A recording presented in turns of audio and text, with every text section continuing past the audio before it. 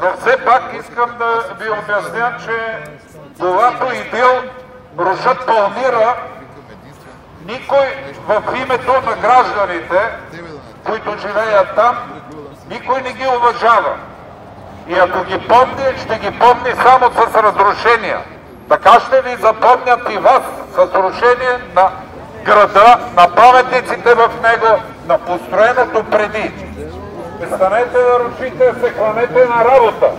Не, че ни е много празнично, но София сигурно е най-сивия празнуващ град, очакващ празниците в Европа. Има села в България, които са по-добре украсени и в които гражданите са по-доволни, отколкото в нашата столица. Докато вие рушите, сте забравили задачите, за които ви избрахме. Има да строите детски градини.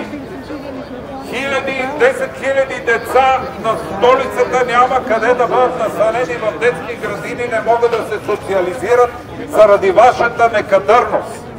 На вас, на предишните и вече и на настоящите, които не планирате строеж на нови детски градини и изпълнение желанията на гражданите. Кой да реши тези проблеми? А в това време вие се занимавате с рушене на построеното преди това. Дори небо не може да боядисате, за да изглежда добре. Не може да оправите центъра и Витушка, какво остава за крайните квартали на града. Вземете се в ръце и вземете да си заработвате заплатите. Представители на сглобката не обичат да дават пари за паметници.